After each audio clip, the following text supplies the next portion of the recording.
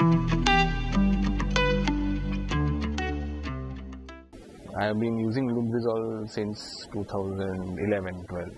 Uh, it was Lubrizol who came to us first and at that time I was working with Tata Consulting Engineering and it is because of them that uh, we got converted from GI to CPVC. So thanks a lot for that. Moving forward, the innovations that uh, we saw today,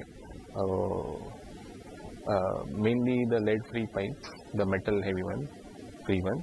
Uh, I think it is going to go ahead and uh, it is going to be a pioneer in changing the way plumbing is done in Indian scenario.